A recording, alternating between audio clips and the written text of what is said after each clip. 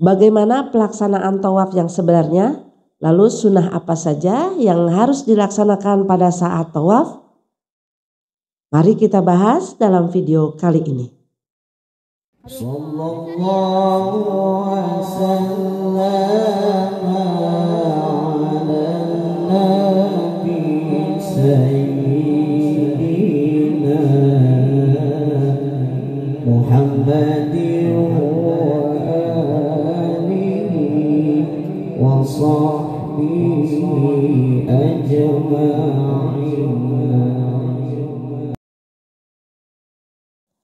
Assalamualaikum warahmatullahi wabarakatuh. Alhamdulillah wassalatu wassalamu ala rasulillah wa ala alihi wa sahbihi wa mawala. Apa kabar sahabat Umi semuanya? Semoga semua sehat walafiat, tidak kurang satu apa pun dalam keberkahan, keberlimpahan. Amin ya rabbal alamin. Sahabat Umi semuanya, para duyufur rahman, Alhamdulillah kita jumpa dalam video lanjutan tentang bahasan tawaf. Uh, Mohon maaf jika teman-teman yang terbiasa melihat Umi kok sekarang agak beda ya karena pakai uh, headset dan pakai mic di depan karena di balik layar pembuatan video-video sebelumnya Umi mengalami kendala. Nah kendalanya apa? Yaitu pada saat merekam sering kali mic-nya mati tanpa diketahui.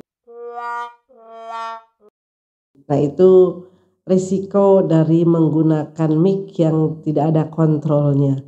Hanya Umi sering kali menghabiskan waktu, menghabiskan durasi, ngomong sendiri dan suaranya tidak ada. Karenanya Alhamdulillah rezeki dari Allah Umi berikan untuk menambah nih ya mikrofon. Semoga ini menjadikan video-video Umi lebih bisa diterima, lebih nyaman didengar dan dilihat ya. Juga tentu saja lebih bermanfaat. Dan untuk set uh, studionya memang ini dalam proses ya belum selesai. Doakan saja semoga uh, cepat selesai, Allah berikan kemudahan dan diberikan rezekinya. Nah kita lanjut tentang tawaf. Eh, setelah sebelumnya kita bahas tentang macam-macam tawaf, kemudian syarat sahnya tawaf di video sebelumnya.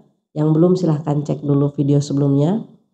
Maka sekarang kita akan bahas tentang bagaimana cara pelaksanaan tawaf dan sunnah-sunnah tawaf. Tapi sebelumnya, seperti biasa, agar channel ini terus berkembang, mohon dukungannya dan mudah menjadikan pahala jariah dan Umi doakan Semoga yang mendukung channel Umi juga diberikan Allah kemudahan untuk berangkat ke tanah suci. Amin ya rabbal alamin.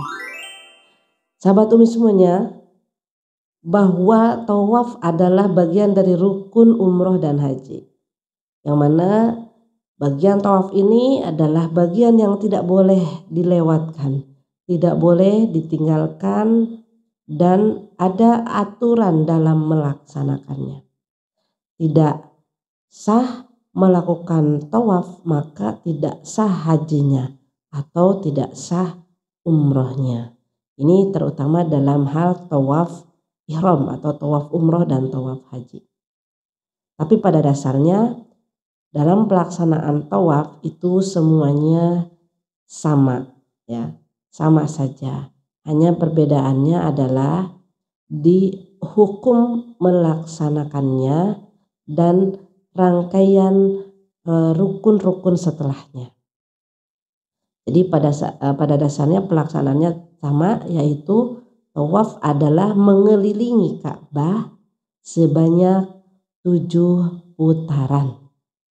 Bisa nggak? Tidak tujuh, tidak bisa. Ini sudah disyariatkan, dicontohkan oleh baginda Rasulullah SAW dengan aturan tertentu. Jadi dalam hal ini tidak perlu dipertanyakan lagi. Ya. Kenapa tujuh, kenapa begini dan kenapa begitu? Karena kita hanya ittiba kepada apa yang dicontohkan oleh baginda Rasulullah Shallallahu Alaihi Wasallam mengenai bab kenapa dan kenapa hikmah di dalamnya. Nah itu pembahasannya beda lagi ya. Tapi dalam hal fikih praktek-prakteknya kita taat saja kepada apa yang sudah dicontohkan oleh baginda Rasulullah Shallallahu Alaihi Wasallam. Tawaf ini dimulai dari titik Hajar Aswad. Laksanaannya jika memungkinkan kita disunahkan mengecup dulu Hajar Aswad pada saat akan memulai tawaf. Dikecup dulu ya, dipegang dulu itu sunahnya. Tetapi dalam kondisi kekinian rasanya tidak mungkin pada saat akan tawaf mengecup dulu hajar aswad. Karena hajar aswad itu adalah satu titik yang tidak pernah kosong dari kerumunan manusia. Karenanya ada istilahnya istilam yaitu eh, mengecup dari kejauhan atau dengan isyarat. Jadi kita melambaikan tangan baik satu ataupun e, kedua-duanya dengan menghadap ke sudut Hajar Aswad lalu kita mengucapkan Bismillahi Allahu Akbar dan mengecup tangan kita sebagai simbol atau isyarat kita mengecup dan memegang Hajar Aswad. Nah ini Menghadap Hajar Aswad ini juga sunnah jika memungkinkan. Jika tidak memungkinkan maka cukup dengan tangannya saja yang menghadap Hajar Aswad, badannya tidak perlu. Karena kondisi di sana itu memang tidak leluasa berdesak-desakan. Ya. Itu yang pertama. Yang kedua ada sunnah yaitu membaca doa di putaran awal pertama tawaf yaitu Bismillahirrahmanirrahim Akbar. Allahumma imanan bika wa tasdiqan bi kitabika wa wafa'an bi ahdika wa tiba'an li sunnatin nabiyyika Muhammadin sallallahu alaihi wasallam. Itu disunahkan dibaca di putaran pertama uh, Selanjutnya doa-doa yang putaran 1, 2, 3, 4 itu yang ada di buku-buku doa gimana? Nah itu boleh silahkan dibaca. Dibaca itu sebagai doa-doa maksur ya, ya, doa yang direkomendasikan para ulama. Silahkan dibaca jika memungkinkan dibaca. Silahkan diikuti jika memungkinkan Anda bisa mengikuti pembimbing Anda. Kalau tidak, tidak bisa membaca, tidak bisa mengikuti juga, maka silakan lakukan doa apa saja yang Anda bisa selama Anda melakukan tawaf. Tapi yang sunnah tadi yang awal dan yang dari rukun Yamani ke Hajar Aswad yaitu e, doa sapu jagat ya yang kita kenal yaitu Rabbana atina fid dunya hasanah wa fil akhirati hasanah wa qina azabannar itu. Kemudian apalagi pada saat kita menunaikan tawaf maka disunahkan di putaran 1 sampai 3 itu agak berlari-lari kecil. Maksudnya tidak berlari tapi merapatkan langkahnya sehingga nadanya agak cepat. Itu 1 sampai 3. Sebagaimana disunahkan oleh baginda Rasulullah wasallam pernah mencontohkan itu. Tapi di putaran 4 dan sampai 7 itu tidak lagi tetap normal. Sekali lagi ini sunnah ya. Jika bisa dilakukan maka itu tentu akan menjadi pahala dan kebaikan. Jika tidak memungkinkan maka jangan memaksakan. Karena kondisi sekarang di e, tempat tawaf terutama di matab yang dekat dengan Ka'bah itu memang tidak semua hal memungkinkan dilakukan jadi tetap prioritas kita adalah keselamatan, kenyamanan e, diri kita dan kenyamanan. Nah, rangkaiannya setelah tadi teman-teman istilam yaitu mengucap hajar aswad dengan isyarat, kemudian membaca doa, maka nanti akan bertemu dengan salah satu uh, tempat atau salah satu bangunan kecil ya. Sebut bangunan terlalu kecil ya. Eh, makom Ibrahim lah itu adalah tempat pijakannya kaki Nabi Ibrahim pada saat membangun Ka'bah. Walaupun sebagian orang mengatakan bahwa makom Ibrahim yang sekarang kita lihat itu bukan yang asli. Itu adalah eh, apa semacam replikanya. Allah alam itu ada informasi yang Umi dapat seperti itu. Jadi apa yang harus dilakukan jika kita e, tiba di sana? Ada doa yang disunahkan oleh Rasulullah SAW pada saat kita melintasi makom Ibrahim. Apa yang harus dilakukan jika kita sudah sampai e, melintas di dekat makom Ibrahim? Itu ada doa ya yang e, dianjurkan untuk dibaca yaitu Rabbi adkhilni mudkhala sidqi wa akhrijni mukhraja sidqi waj'al li min ladunka sultanan nasira. Wa qul ja'al haqqa wa azhaqal batil nal batila kana zahuqa. Ini doa yang kalau bisa kita bisa hafal ya kalau doa ini. Karena ini bisa aja dibaca di luar eh, makam Ibrahim. Kita bisa baca juga di rumah ya Insya Allah ya banyak yang sudah hafal. Kemudian apakah kita juga harus memegang atau mengusap? Tidak usah. Pada saat tawaf tidak usah kita e, mampir atau memegang makom Ibrahim. Kita cukup berdoa melintasi makom Ibrahim saja. Nah, lalu setelah dari makom Ibrahim ini, apakah apa juga yang harus kita lakukan? Terus saja Anda mengitari Ka'bah. Dan jangan sampai Anda memangkas masuk ke area Hijir Ismail. Ini kalau-kalau suatu saat Hijir Ismail terbuka ya pintunya dua arah. Dan Anda bisa masuk lalu mengitari Ka'bah dari e, area yang masuk Hijir Ismail. Jangan karena tawaf ini harus juga mengelilingi area luar Hijir Ismail. Ya, jadi Hijir Ismail itu termasuk area Ka'bah yang jangan Anda masuki pada saat tawaf. Jadi harus di luar hijir Ismail. Setelah Anda melanjutkan tawaf, e, mengitari juga di dalamnya adalah hijir Ismail. Terus saja Anda isi tawaf Anda dengan doa dan zikir kepada Allah Subhanahu wa taala. Tidak terbatas doanya mau apa saja, doa-doa yang baik yang Anda fahami maksudnya sehingga Anda nanti khusyuk dan yakin dengan doa Anda. Hindari membaca doa yang Anda tidak pahami sehingga nanti hilang khusyuk, hilang ikatannya sama Allah Subhanahu wa taala.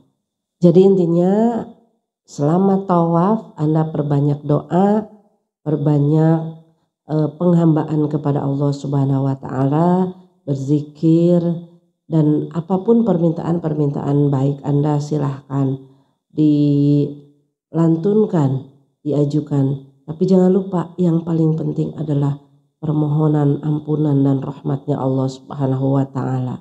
Karena tawaf adalah kesempatan emas Anda dekat dengan sang pemilik Baitullah dan pemilik alam raya ini.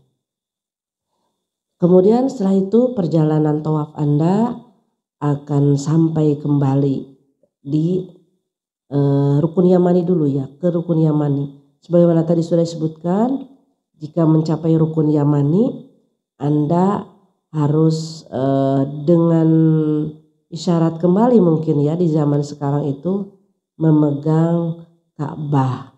Jadi pada saat kita melaksanakan tawaf ini, pastikan bahwa bahu kita tetap eh, tidak berubah ya. Bahwa Ka'bah harus selalu berada di sebelah kiri bahu kita. Jadi teman-teman jangan mampir-mampir dulu ke Ka'bah atau mau ke Hijri Ismail atau mau ke Multazam atau mau ke apa Hajar Aswad. Jangan. Sebelum selesai tujuh putaran jangan mampir-mampir jangan belok-belok dulu. Pastikan tetap Ka'bah ada di sebelah kiri kita terus aja muter tanpa berubah. Bagaimana kalau misalkan mau ngejar rombongan nih, kita ketinggalan.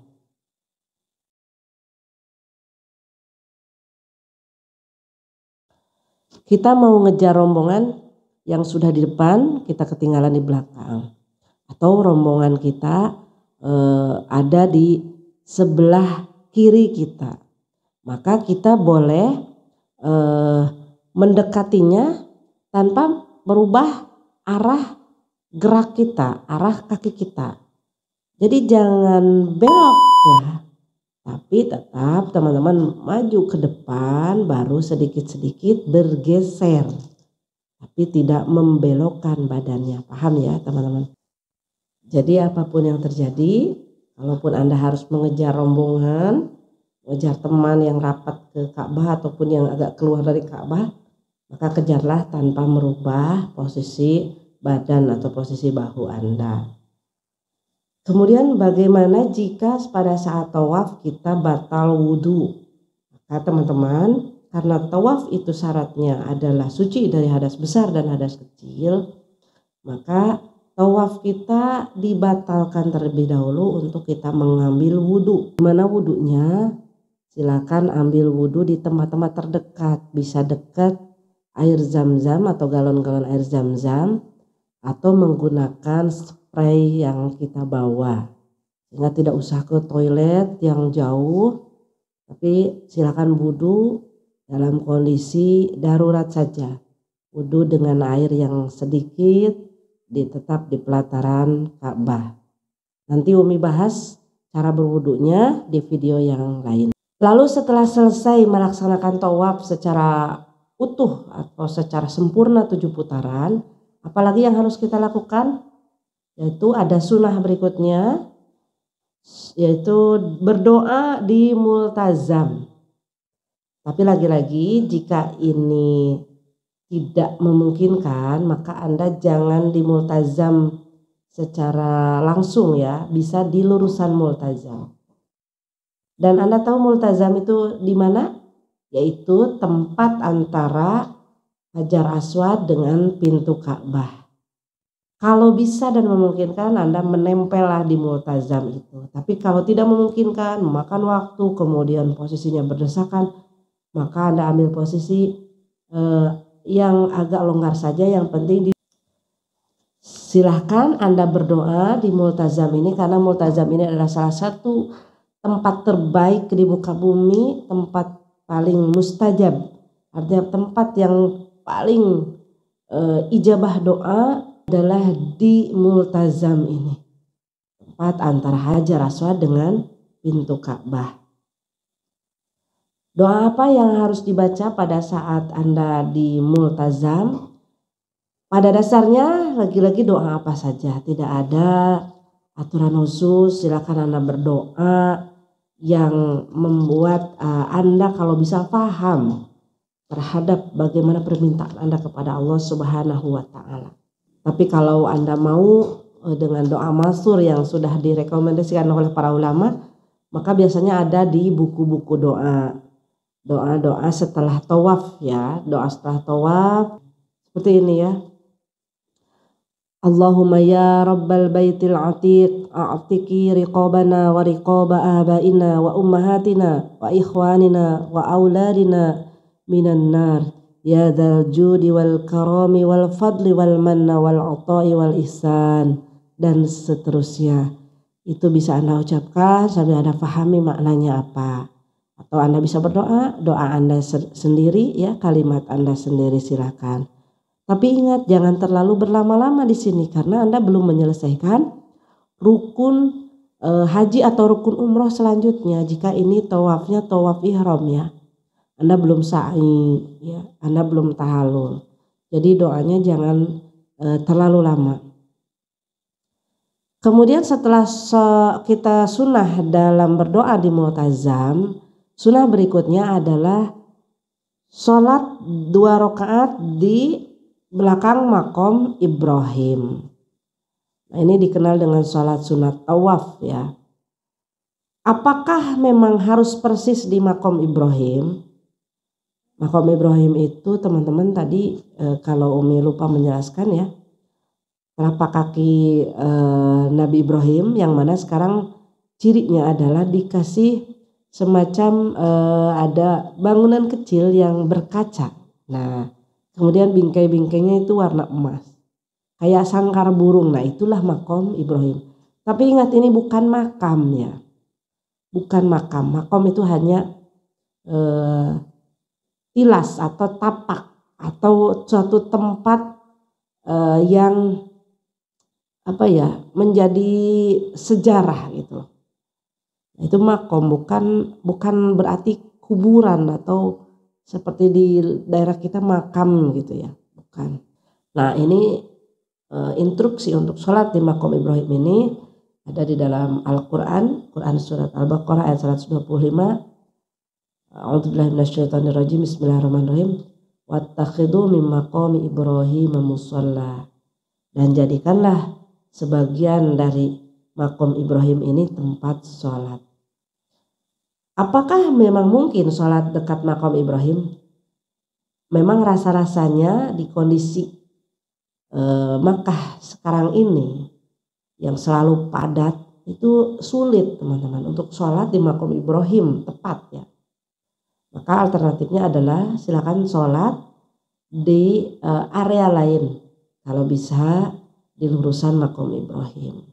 Tapi kalau tidak pun daripada kita menjadi madarat kita mendolimi orang lain, menghalangi orang lain yang sedang tawaf dan kita sendiri nanti akan terkena masalah ya, terinjak atau mungkin ter uh, apa terganggu sholat kita.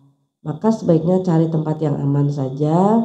Yang penting masih di sekitaran Ka'bah yang nyaman untuk kita sholat. Sholat apa? Di sini sholat sunat uh, dua rakaat ya. Sholat sunat tawaf dua rakaat. Atau uh, sholat sunat mutlak bisa. Lalu kita setelah itu membaca doa. Dan lagi-lagi di sini jangan terlalu lama karena kita akan menuju tempat sa'i. Jika sedang tawaf ihram ya kita akan menuju tempat. Sholat sunat dua rakaat di makom Ibrahim ini uh, disunahkan yang rakaat pertama membaca surat al-kafirun Al-Fatihah dan Al-Kafirun. Di rokaat kedua membaca surat Al-Fatihah dan Al-Ikhlas. Dua rokaat saja. Dan silakan lanjutkan uh, dengan berdoa. Tapi tidak terlalu lama. Selanjutnya sunnah berikutnya adalah meminum air zam-zam dari sumur zam-zam. Ya kalau dulu kan sumurnya masih terbuka dan bisa kita akses. Kalau sekarang sumurnya sudah tertutup dan kita hanya bisa minum dari keran, dari galonnya. Maka sunnah kita di zaman sekarang meminum air zam-zam yang tersedia di sekitar masjid Masjidil Haram. Sunnah e, minum dengan doa Allahumma ini as'aluka ilman nafi'an wa rizqan wa shifaan min kulli da'in wa saqamin ya arhamar rahimin itu ya. Kemudian diusapkan ke muka ke kepala kita juga ya biar menjadi keberkahan. Kemudian selanjutnya adalah eh, ada sunnah sebenarnya pada saat sebelum saya itu mengusap hajar aswad lagi eh, pada saat sebelum saya tetapi ini sangat sulit ya untuk untuk zaman sekarang itu dengan segala kepadatannya. Sehingga pada kebanyakan kita langsung melanjutkan melaksanakan sa'i apalagi kalau kita berangkat rombongan ya kita harus bareng-bareng. Jangan sampai kita yang awam yang baru per, belum pernah malah e, kena masalah gara-gara kita ketinggalan dari rombongan. Karena ketidaktahuan itu nanti akan membuat kita bermasalah. Kita tidak pernah umroh tidak tahu juga ilmunya. Kalau kita memisahkan diri maka nanti akan e, berantakan ya ibadah kita. Karena yang dipikirkan bagaimana supaya kita ketemu rombongan. Jadi akhirnya sa'inya nggak beres tawafnya nggak beres. Ya makanya yang awam itu bareng-bareng saja dengan rombongannya. Nah sahabat Umi semuanya semoga apa yang Umi bahas kali ini walaupun dengan format yang sederhana dengan kalimat-kalimat yang mudah dicerna mudah-mudahan membuat teman-teman bisa memahami lagi tentang bagaimana pelaksanaan tawaf ya. Mungkin ini menambah hasanah pemahaman dari apa yang sudah teman-teman pelajari di manasik-manasik haji ataupun umrohnya. Kurang lebihnya Umi mohon maaf jika ada hal-hal yang masih kurang atau ada yang ingin ditambahkan silahkan tulis aja di kolom komentar. Begitupun jika ada hal-hal yang ingin ditanyakan. Mudah-mudahan Umi bisa menjawab, membalas komentar teman-teman semua. Tapi jika tidak bisa mohon maaf sekali. Jika mungkin videonya sudah lama Umi tidak bisa membalas semuanya karena terlalu banyak. Insya Allah ada momen tertentu Umi akan membalas atau menjawab pertanyaan-pertanyaan dari komentar yang masuk dalam video tertentu atau dalam momen live nanti. Semoga yang disampaikan ini bermanfaat. Jika ada yang kurang itu semata-mata kehilafan dan kebodohan Umi. Jika yang baik itu tentu saja dari Allah Subhanahu wa taala. Selamat menjadi tamu Allah. Semoga Anda dibimbing oleh Allah Subhanahu wa taala untuk memahami ibadah-ibadah kita dan ibadahnya diterima, mabrur dan makbul insya Allah. Allahumma afiq ila Wassalamualaikum warahmatullahi wabarakatuh.